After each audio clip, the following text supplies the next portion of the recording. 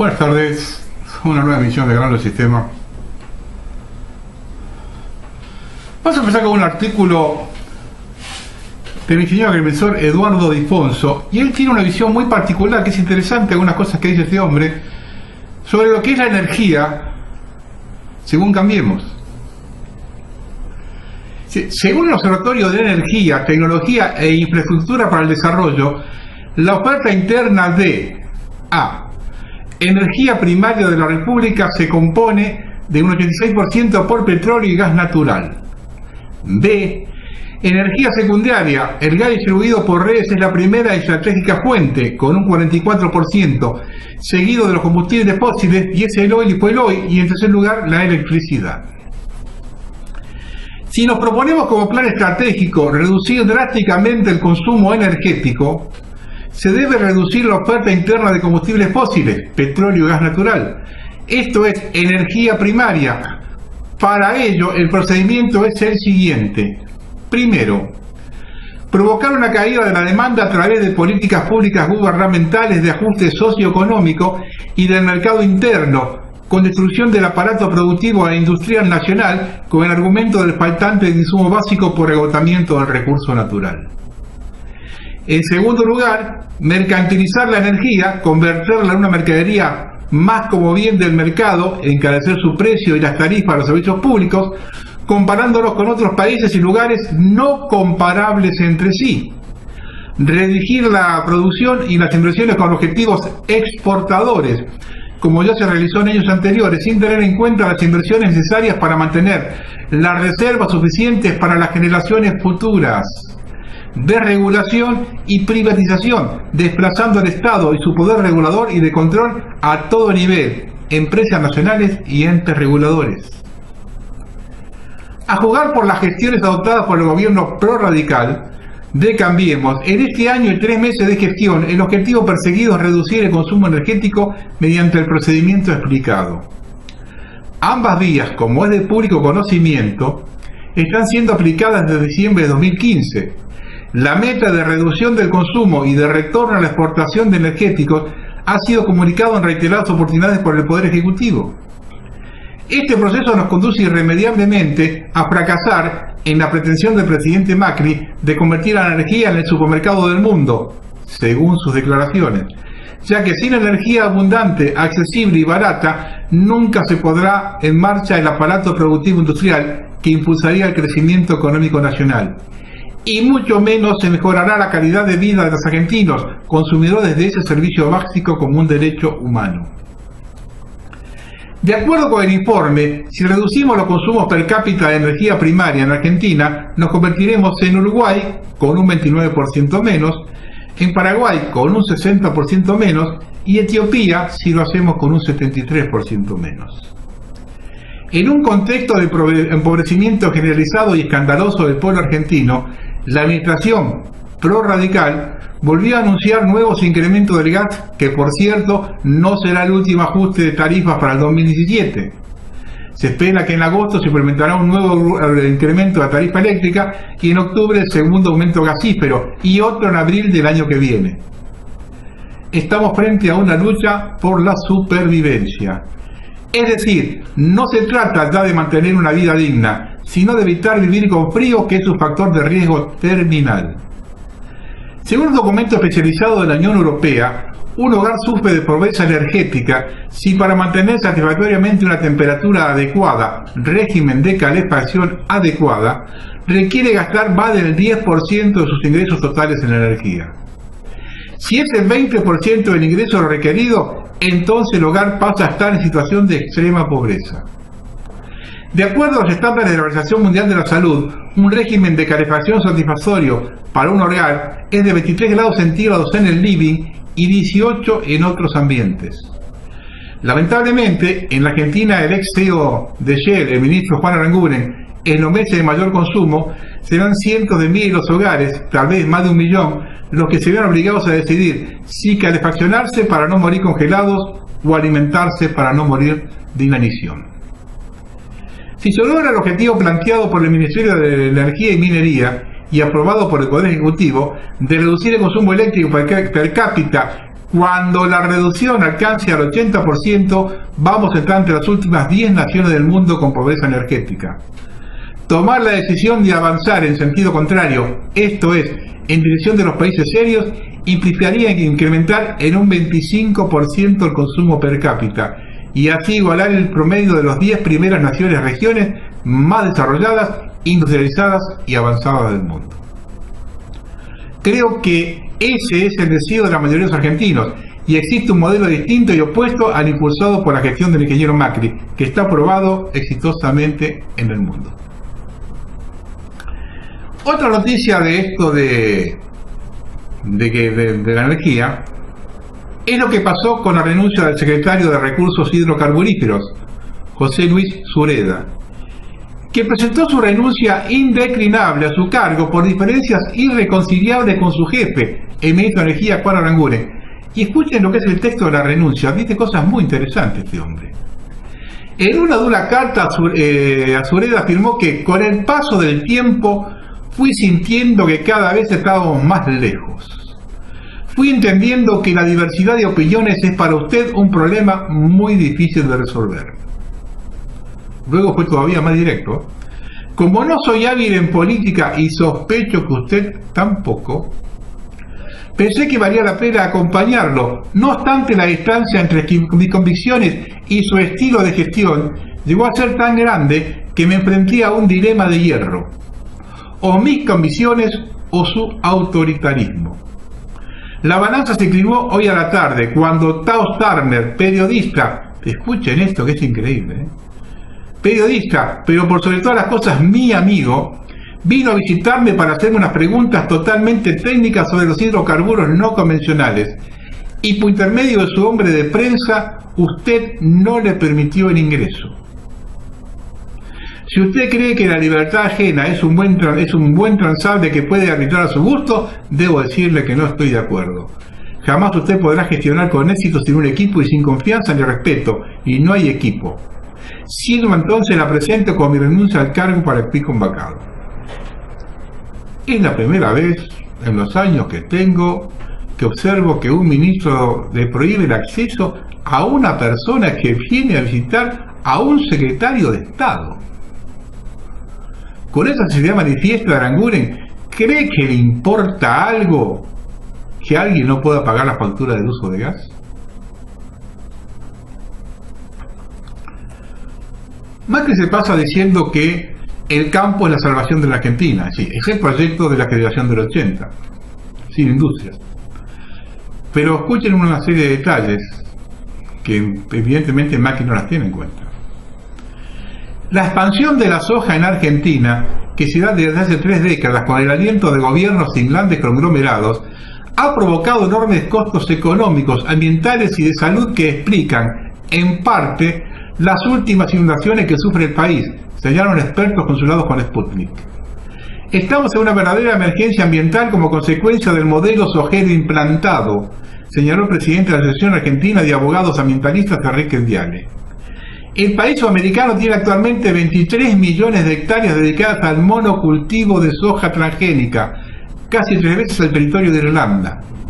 En los últimos 25 años se desmontaron 8 millones de hectáreas de bosques nativos y se destruyeron humedales, cuando son las solvencias necesarias para soportar los fenómenos extremos que se viven como consecuencia del cambio climático. Viale. El monocultivo de soja absorbe cada año 500.000 nuevas hectáreas, que sin, ningún, que sin ningún gobierno haya intentado contener su avance. El actual eh, ejecutivo Mauricio Macri tiene a varios funcionarios vinculados al agronegocio, con el ministro de Agricultura de la provincia de Buenos Aires, Leonardo Sarkis, también ex gerente de Monsanto, y además ha bajado las retenciones a la exportación de soja al tiempo que flexibiliza la legislación ambiental que habíamos logrado con la ley de bosques, hoy desfinanciada, señaló el abogado. Pero por si esto no le alcanza, fíjese este detalle. La ciudad bonaerense de Salto, acá a ciento y pico de kilómetros, vive momentos dedicados al haber sufrido la inundación más grande de su historia, las lluvias intensas provocaron 575 personas evacuadas y más de 1000 autoevacuados, en un pueblo que no es tan grande. ¿eh? El agua alcanzó los 9 metros 70, el nivel más alto que se registraron hasta ahora.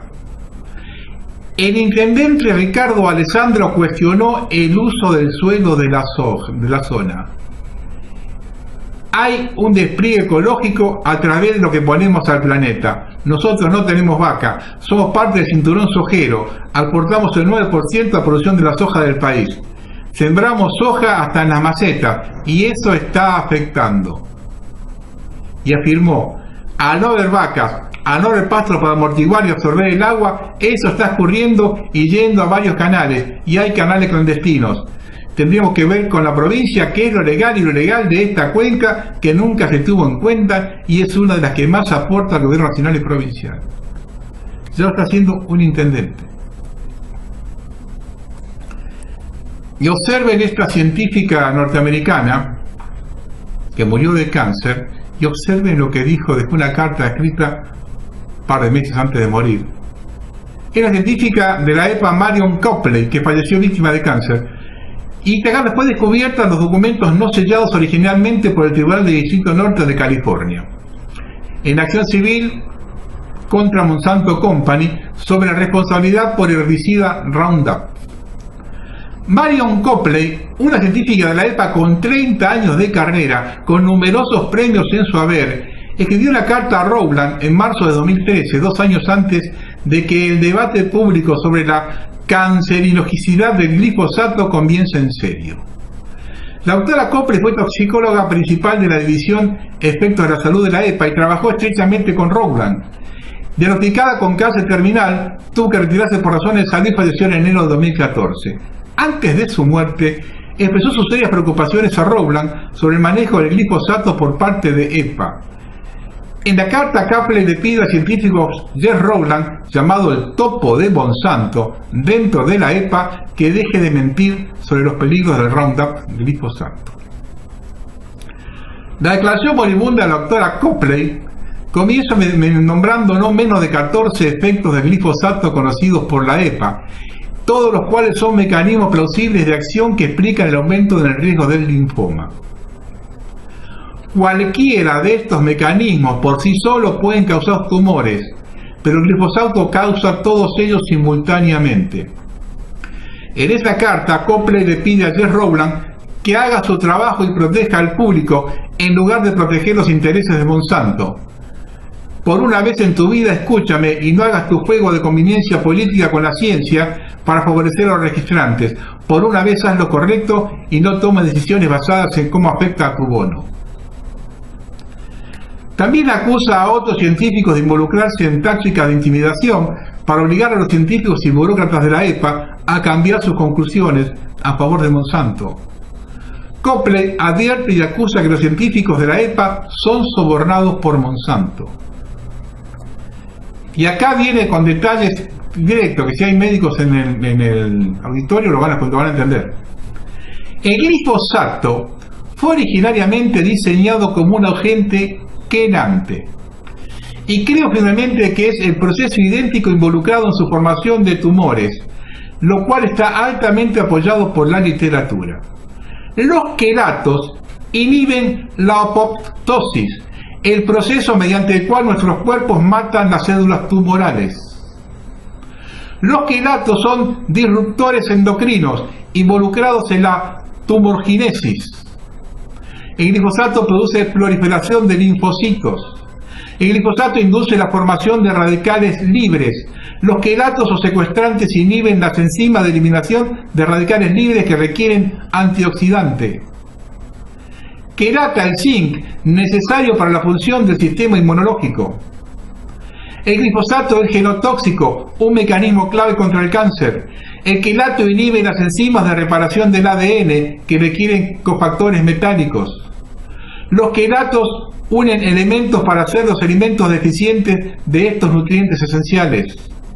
Quelata el calcio necesario para la enzima calcineurerina para una correcta respuesta inmune. Los quelatos a menudo dañan los riñones o el páncreas, como el glifosato es un mecanismo para la formación de tumores. La lesión de riñón y páncreas puede conducir a cambios en la química clínica para favorecer el crecimiento tumoral. El glifosato mata las bacterias en el intestino y en el sistema gastrointestinal, donde reside el 80% del sistema inmune. Los quelatos suprimen el sistema inmune, haciendo el cuerpo susceptible a los tumores. Las células sanguíneas están más expuestas que antes. Si cualquier estudio muestra proliferación de linfocitos, entonces es confirmatorio que el glifosato es un cancerígeno. Y acá la justicia y los diputados y los gobernadores y los intendentes. Es muy grande la billetera de Monsanto, es muy grande. Hemos pasado acá hace un par de años, tres años, un documental hecho por la televisión de Qatar, creo que era, de Al Jazeera, donde filmaba sobre la Argentina y terminaba el video, creo, con una reunión que había hecho Monsanto en Santa Fe y estaban todos, no faltaba nadie. Absolutamente nadie. Estamos hablando del año 2013, 2014, 2012. Y, en esa reunión no había nada, no faltaba nadie. De los que se fueron y los que vinieron, faltaba nadie. Y para todavía poner más complicado el tema de la contaminación ambiental en Argentina, hay un contraataque de la Barrick. Y esto es peligroso, ahora sí por qué. Con los chinos de aliado, rearma ambicioso plan para buscar más oro en Argentina. Le acaba de vender a la China Shandong Gold el 50% de las acciones de la empresa que gestionará ese megaproyecto destinado a la extracción de oro en 960 millones de dólares. La asiática, considerada la minera más grande de ese país, rubricó un convenio que la habilita a participar de la reactivación del AMA del emprendimiento nacional Pascua Lama. Dos cosas. Los chinos, en el medio, teniendo en cuenta que Franco Macri es su representante en Latinoamérica, acá no se habla más de la barriga. Y segundo, yo he pasado en el 2015 un informe sobre la contaminación en las ciudades chinas, con fotos y un montón de cosas más. China tiene las ciudades más contaminadas del planeta. Si acá van a entrar los chinos a trabajar la minería, chau, ¿eh? Desaparece San Juan, se lo puedo asegurar. Eh, mientras nosotros acá hablamos de, cualquier cosa, eh, el sistema en el sur sigue avanzando. Los mapuchos siguen avanzando. Usted fíjese este detalle. Esto lo publicó Rolando Hangling, pero lo, que hizo es publicar una, una carta que mandó el empresario hotelero Gustavo Fernández Capiet. Una carta pública que le mandó al secretario de Turismo Local, Esteban Bosch, y al intendente del Parque Nacional Lanín, Horacio Peloso, con algunas reflexiones sobre el creciente problema mapuche. Y esto fíjese que es una versión nueva, porque es una cosa que viene desde la parte empresarial. Este hombre sostiene que ha llegado la hora de poner límites. Textual la carta de este hombre, este empresario.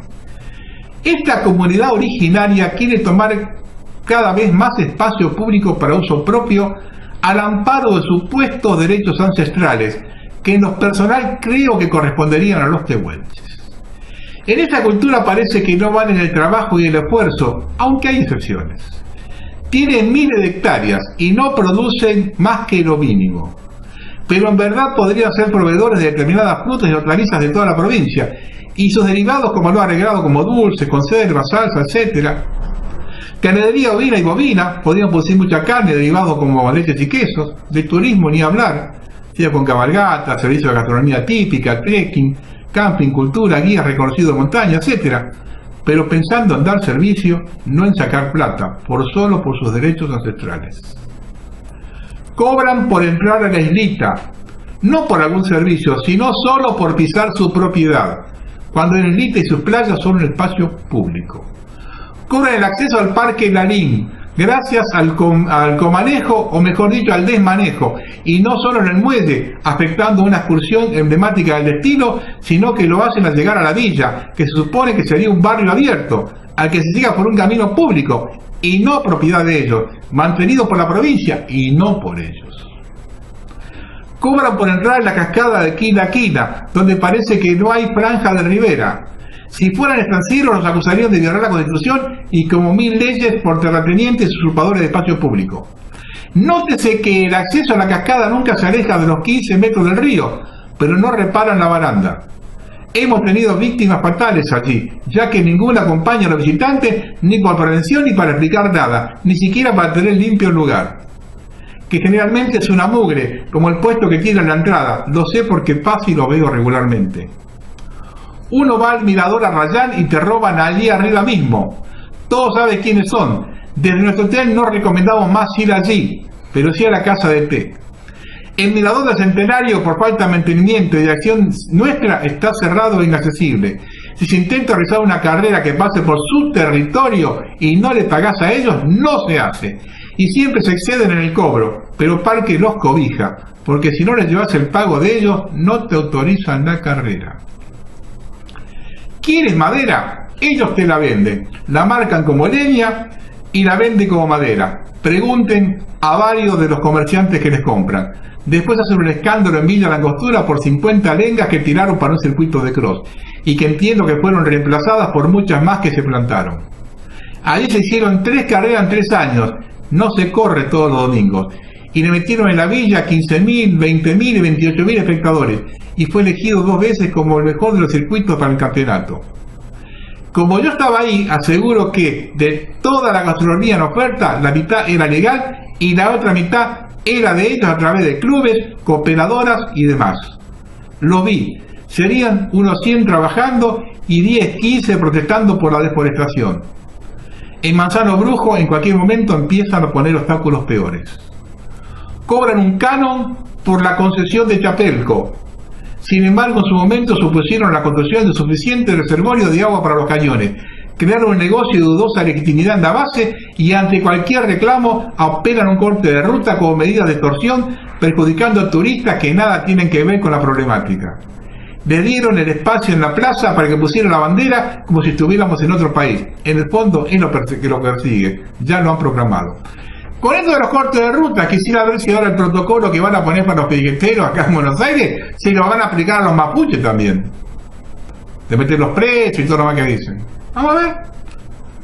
Vamos a ver. Entonces correspondería que alguno empiece a decir, no, la justicia es para todos iguales, ¿no? Y el pueblo mapuche de Río Negro marchará a pie desde Bariloche hasta Viedma. Y acá hay una cosa interesante que quiero comentar al final de esto. Entre el 20 y el 24 de abril, en rechazo del proyecto del nuevo Código de Tierras impulsado en la legislatura provincial por el gobernador Belerinec.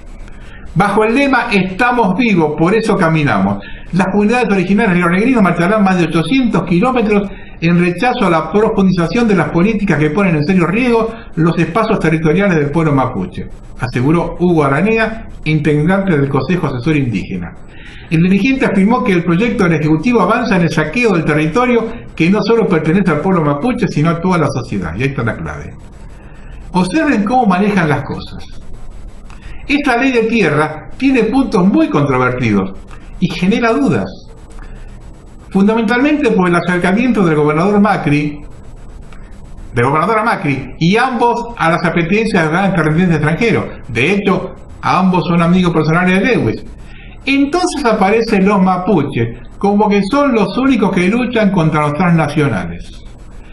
Entonces, de esta forma, la protesta logra el beneplácito de un montón de la población son los únicos que se le plantan a las petroleras, a los terratenientes, ellos son los únicos que se les plantan. Entonces la gente nos ve como los buenitos de la película, pero detrás de ellos está el proyecto de independencia como parte del plan línea.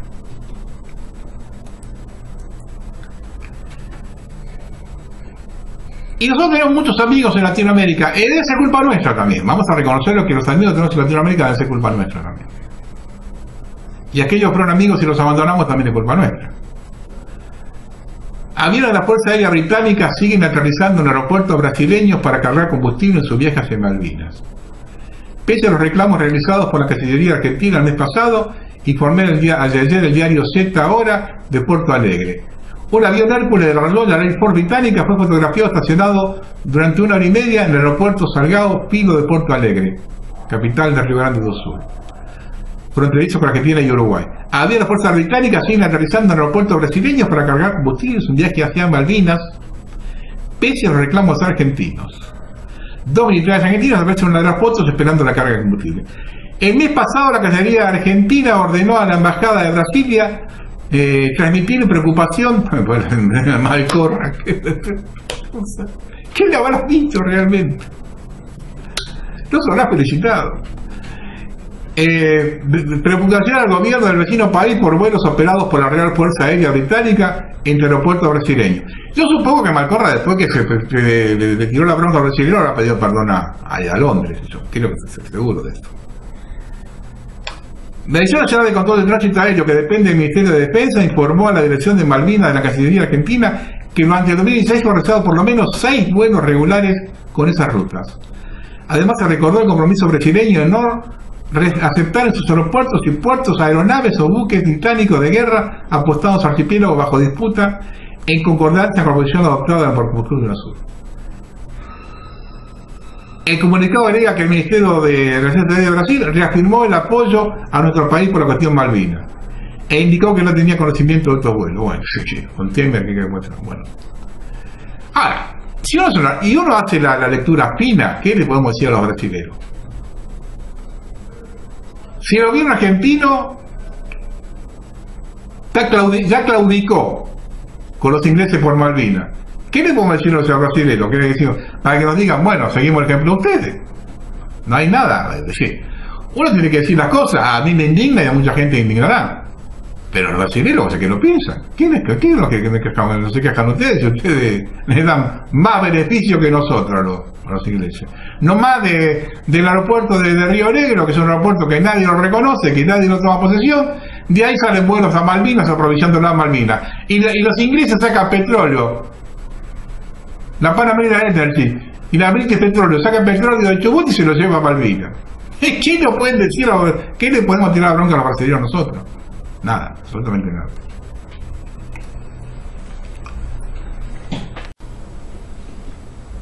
Acá hay un tema que es muy serio, que es que Macri acaba de hipotecar Tierra del Fuego. La gobernadora Bertone y el ministro Caputo hipotecaron Tierra del Fuego por 3.200 millones de dólares, sometiéndose a la justicia de Londres en Nueva York. Asesorada por el ministro Caputo, la gobernadora Bertone de Tierra del Fuego colocó títulos de deuda por 3.200 millones a 10 años al 8.95% anual, comprometiendo el 61% de los ingresos de la provincia y sometiéndose a la jurisdicción de Londres en Nueva York. El doctor Federico Rauch fue quien denunció el accionar de Bertoni y las implicancias de esta colocación para la provincia. El préstamo solicitado cuenta con dos años de gracia. Esto significa que el actual gobierno no tendrá que lidiar con esta devolución, ya que la empezará a correr a partir del 2019, que pague el que viene atrás. Está siendo colocado en Nueva York porque los inversores quieren la seguridad jurídica que no les da Tierra del Fuego, es decir, que no están bajo la legislación del Estado y la justicia de Tierra del Fuego, porque la provincia ha resignado la jurisdicción y en caso de algún conflicto definirá un juez de Manhattan. Así lo han aceptado los políticos jueguinos, explicó Rauch por Radio Provincia ayer.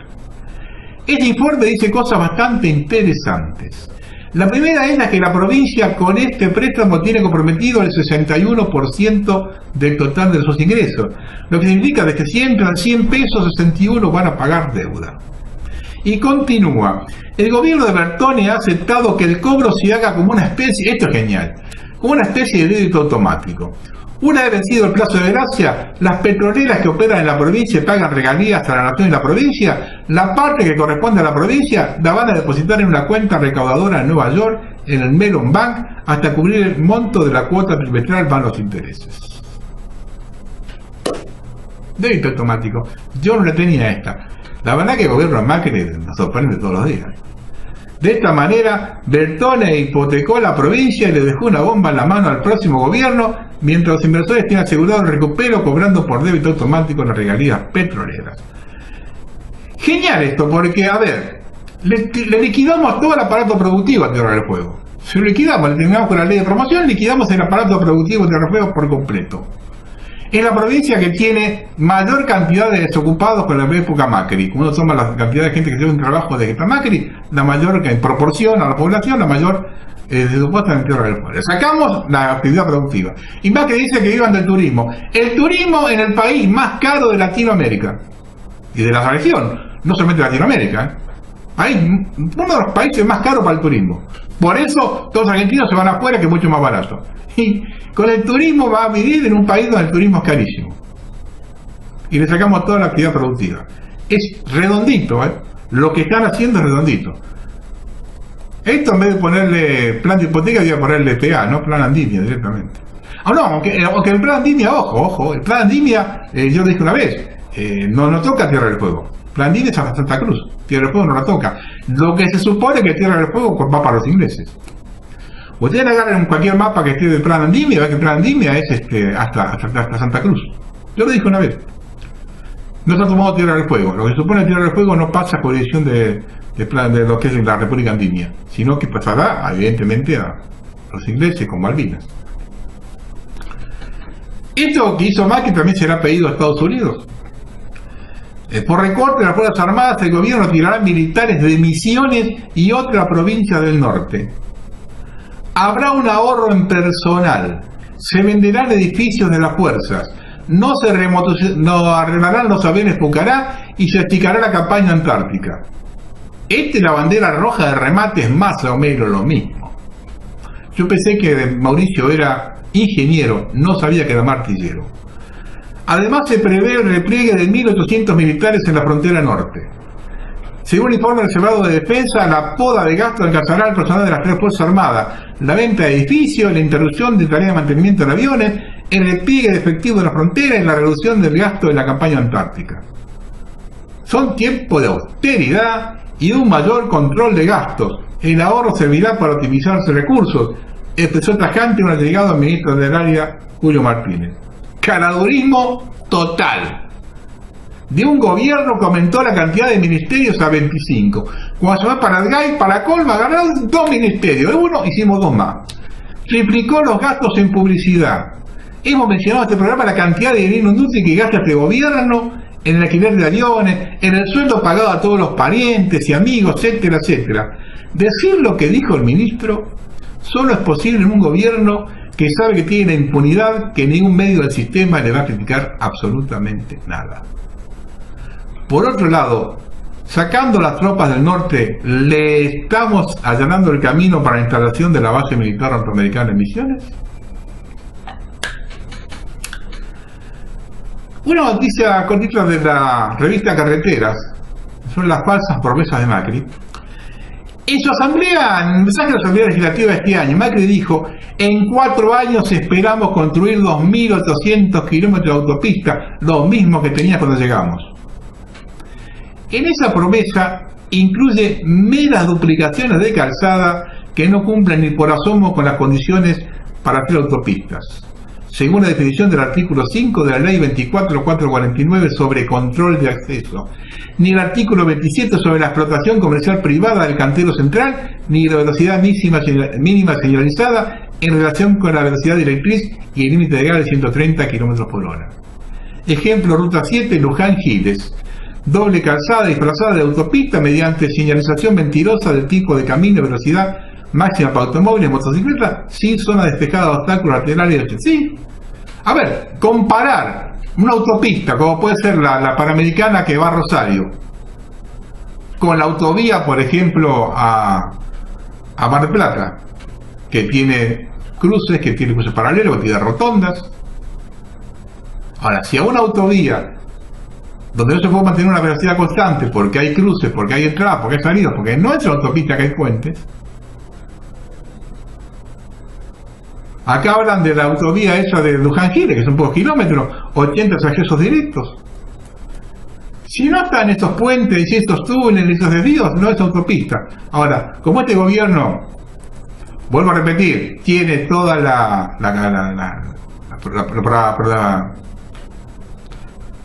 los medios oficiales le tapan absolutamente todo. Y fíjese esto, esto me hace acordar con el tema de los subtes. En 2007, delante, durante el debate para jefe de gobierno con Jorge Tellerman, Mauricio dijo lo siguiente. La gente cada día viaja peor, porque el transporte está cada vez peor. Tenemos un plan que aprobamos en 1999 y 2001 de todos los subtes que hay que hacer y lo construimos a razón de un kilómetro 6 por 1.6 kilómetros por año, mientras Santiago de Chile lo hace a 14 kilómetros por año. ¿Qué somos nosotros, idiotas, que no podemos construir 15 kilómetros por año? El fracaso fue estrepitoso. En los siguientes tres años, cuando fue gobierno Macri, se construyeron 300 metros de subte. Pese a que la legislatura, y ese dato yo no lo tenía, fíjese este dato, pese a que la legislatura aprobó una toma de deuda por 500 millones de dólares específicamente para las redes subterráneas. De ese monto, 280 terminadas en un plazo fijo en el Banco Ciudad a la mitad de la tasa que se pagaba por el mismo.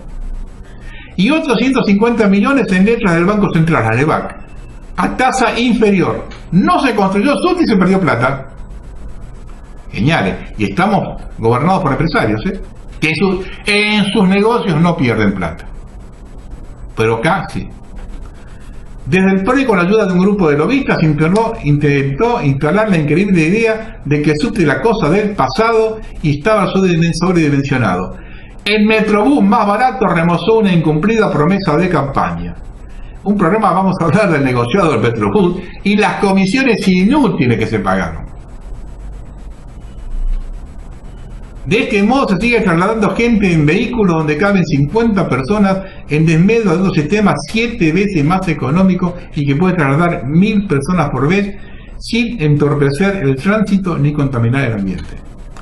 Observando el desprecio de los ferrocarriles, y el transporte fluvial, nos damos cuenta, cuál es el proyecto de Macri, ni más ni menos que el de la ETE global. Yo estaba por cerrar ya el programa y me mandan una nota muy, muy. que toca, que escribió Juan Rossi, un, amigo mío, amigo personal, yo lo conozco personalmente. Me la mandó y me dice: Mira, esto lo publicaron en Facebook. Él lo llama el presidente Macri y el abandono al interior de nuestro país como paso previo al desmembramiento territorial. Juan Rossi. Todo textual en la carta de él. En estos momentos se encuentran aisladas cuatro provincias del interior de nuestro país a raíz de las inundaciones. Ellas son Buenos Aires con La Pampa en el norte centro de dichas provincias. Santa Fe zona sur con Buenos Aires y Córdoba, también a pesar de que no son limítrofes La Pampa con Santa Fe, ya que los pasos a través de Buenos Aires y Córdoba se encuentran anegados y cortados. La Pampa con San Luis, es decir, norte de La Pampa y sureste de la segunda nombrada. También es necesario decir que Mendoza y San Luis Capital tienen la fundamental vía de comunicación, como la Ruta 7, cortada del sur de Santa Fe, imposibilitando de esta manera la fluida comunicación entre el puerto de Buenos Aires y estas dos provincias cuyanas amén del sur de Córdoba y sur de Santa Fe, como así también esta fundamental arteria es la vía más importante de comunicación con Chile. Las zonas que se encuentran aisladas entre sí y los pasos hacia Buenos Aires y viceversa constituyen la zona central de nuestro territorio continental, es decir, que por ahí pasa la producción más importante granera, hortícola, carnes, la industria del vino, mineral, etcétera, como así también los alimentos elaborados que luego son consumidos en estas regiones además de la producción industrial de la provincia de San Luis, que también resultan de vital importancia para Buenos Aires. Este es el estado actual de nuestro país. Un total desamparo del interior, un gobierno que no interesa en absoluto al interior, ya que esto vino ocurriendo desde hace un mes aproximadamente y desde el gobierno nacional no se ha enviado ni los recursos ni la logística para dar solución a este gravísimo problema geopolítico interno. Es decir, la destrucción de los medios de comunicación como resultan las rutas que han sido arrasadas por el agua. En una guerra, lo primero que se destruyen son los medios de comunicaciones y nuestro país, en su zona central, se encuentra de esta manera, totalmente incomunicados. Además del desabastecimiento de las economías regionales, como ocurre con la industria lechera, la industria cárnea, la granífera, particularmente la soja, que se han perdido miles de hectáreas que hoy se encuentran bajo el agua. Macri habla de inversiones extranjeras como forma de reactivación de la economía, pero permite que se destruyan las zonas fundamentalmente de la producción nacional. El gobierno carece de planes de obra para solucionar lo que viene ocurriendo año tras año. Convengamos que todos los gobiernos que han pasado han sido indiferentes a esta problemática. a punto de que la expresidente ni siquiera supiera dónde está ubicada la laguna La Picasa, que hoy es un gran espejo de agua conectando la ruta 7, que en ese momento era dio ubicada en la provincia de Entre Ríos, cuando en realidad está en el sur de Santa Fe. Lo que se prueba de esta manera es el desinterés de los que nos han gobernado. También debemos destacar la gravedad de la falacia de los ambientalistas cuando hablan del agua como recurso no renovable y nosotros lamentablemente permitimos que se vayan millones y millones de metros cúbicos, las cuales deberíamos aprovechar y esto constituiría ingresos económicos fundamentales para nuestro país, además de contenernos para el riesgo del riesgo de las zonas que carecen de este vital elemento en nuestro país. Hay países de Europa, hasta el caso de España, que tienen problemas muy graves con el agua y nosotros nos damos el lujo de tirarla, despreciarla. Pero eso sí, luego se hacen propagandas en los medios de comunicaciones donde se nos enseña cómo no hay que derrochar el agua y que debemos cerrar las canillas para evitar el derroche. Tranquilamente podríamos exportar y solucionar a quienes les falta agua en el mundo. Insisto, sería un ingreso fundamental para nuestra economía. Por favor, cuánta desidia. Yo agrego que los únicos planes que tienen es arrojar millones de metros cúbicos de agua dulce al mar. Las soluciones las dio Meguino hace casi, casi 150 años. Yo lo toqué un programa, uno de los primeros programas que hablé, el 2 o el 3 de día del siglo XXI, 2013. Ahí toqué el tema del agua. Las dio Meguino hace 150 años. Por mi lado, en uno de los primeros programas del ciclo de día siglo XXI, esbocé varias cosas que se podrían haber hecho en estos 15 meses y que hubiesen provocado menos desastres. Si estos 15 meses podrían haber hecho un montón de cosas. ¿eh? En cuanto a lo que dice Rossi, que no les importa el interior, es cierto. Dualde inauguró la dictadura del conurbano. Yo lo dije varias veces, ahí vota el 30% de la población. Sumado a ciudades de Buenos Aires, Rosario, Córdoba y Mendoza, se llega al 50% de la población. Las obras son ahí, señores. Me dice, me romper la cabeza por General Villegas. ¿Quién vota en Villegas? 10.000 personas votan en General Villegas. Yo esa plata la pongo en, un distrito como Lanús, Loma de Zamora, La Matanza, que votan 100, 200, 300 mil. Esa es la lógica de nuestros políticos. Me iba a poner 100 millones allá donde votan 7 mil personas, la voy a poner acá donde votan 200 mil o 500 mil, un millón. Esa es la lógica de nuestros políticos.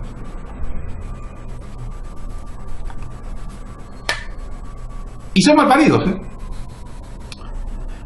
El presidente Macri comenzó hoy su conferencia de prensa en la sede central del Banco Nación enviándole un abrazo enorme a los argentinos que debido a la consecuencia del cambio climático están sufriendo lluvias devastadoras. Y por si quedaban dudas, dijo que se refería a los tucumanos, mendocinos, papianos y chubutenses.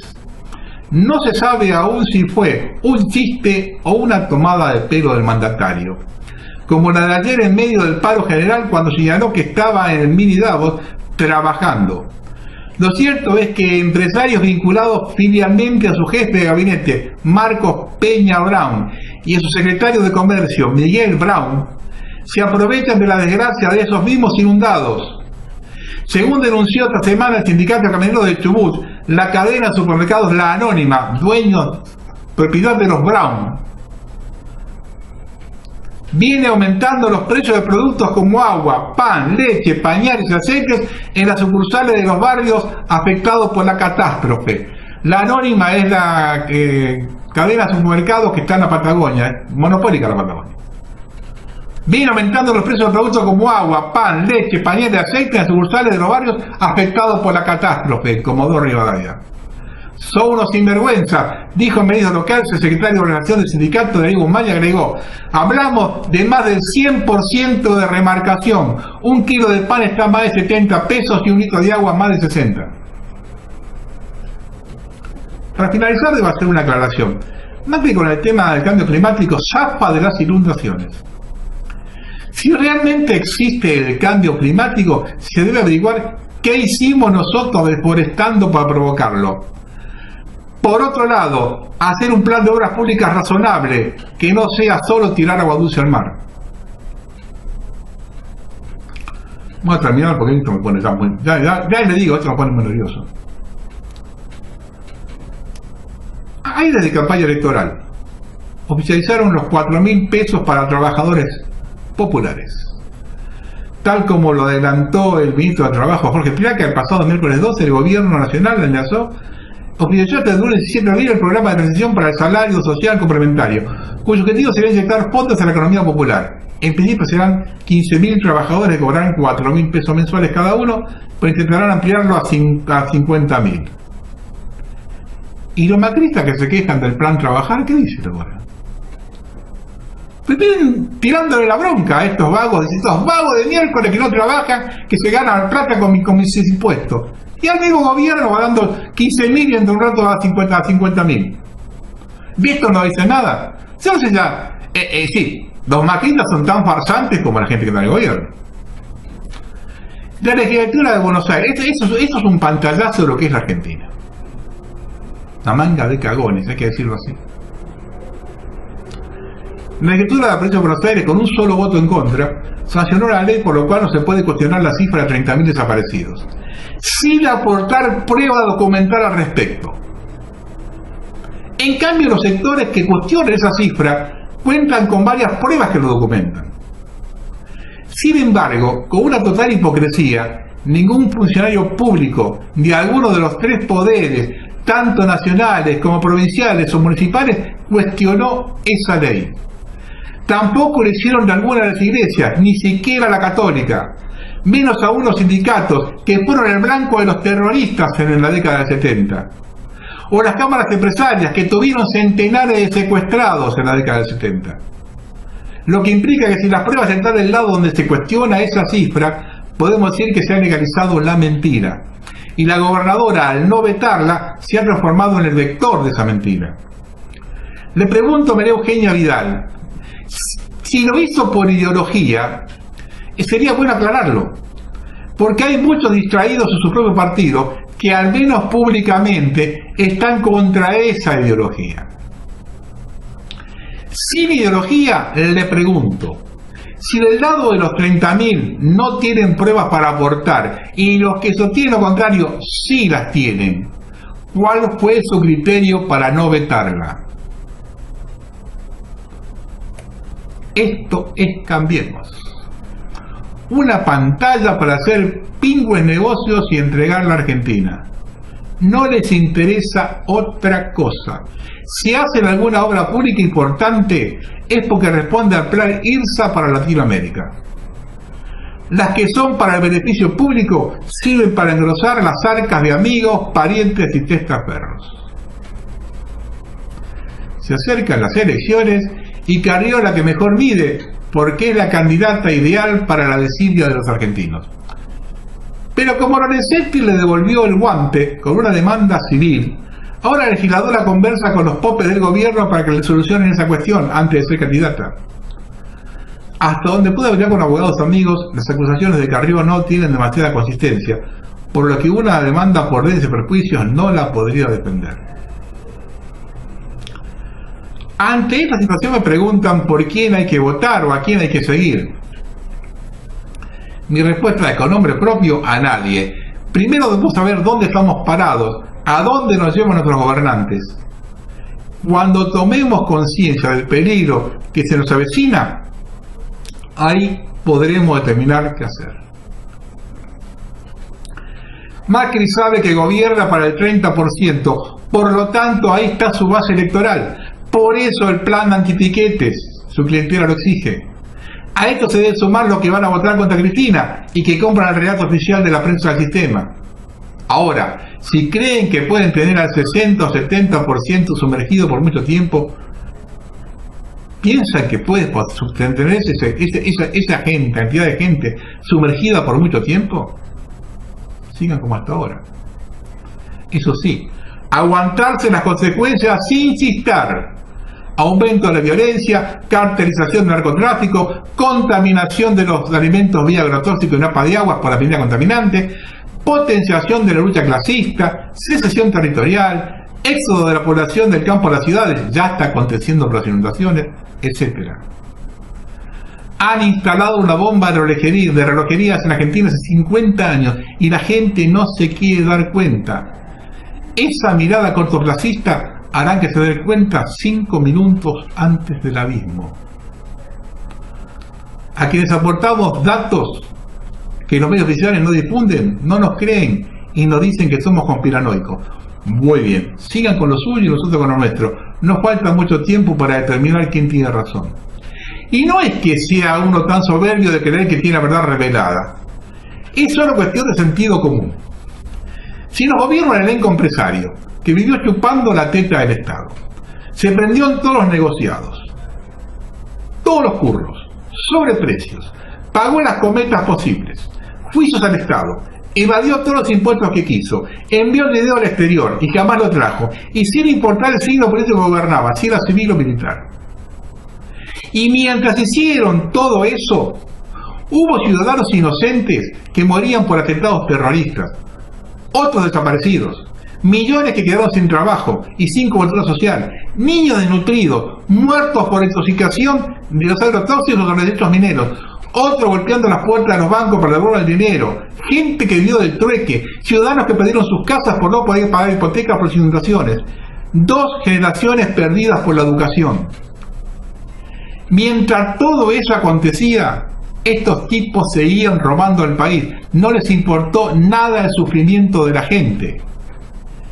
Y ahora nos quieren convencer que se hiciera una transfusión de agua bendita solamente una nación de pusilánimes. Puede creer eso. Buenas noches, lo dejo con Argentino Luna. Me preguntan cómo ando y respondo más o menos con angustias en el alma por lo que le han hecho al pueblo. ¿Cómo puede andar un hombre que no ve al otro contento, que ve niños en la calle sin escuela, cartoneros, gorrioncitos desnutridos, ojos tristes, analfabetos, que ve madre mendigando sin honor y sin respeto.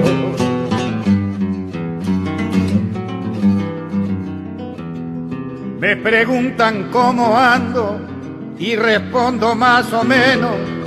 Si una manga de langosta se ha robado hasta los sueños, gobernando desgobiernan, porque la justicia es de ellos y con nombre y apellido sin vergüenzas andan sueltos esta manga de ladrones que se roba mis impuestos, mercenarios de la vida, jubilados con privilegio.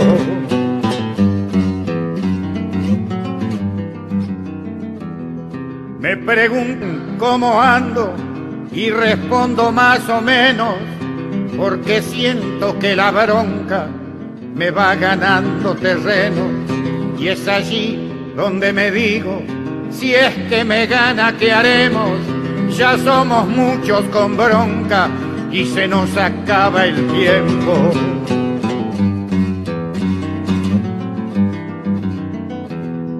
Por los niños sin cobijo, por los brazos del obrero, por el santo de las madres, por la paz de los abuelos, habrá que ganar la vida, hacer la vida de nuevo, habrá que ganar la vida, hacer la vida de nuevo.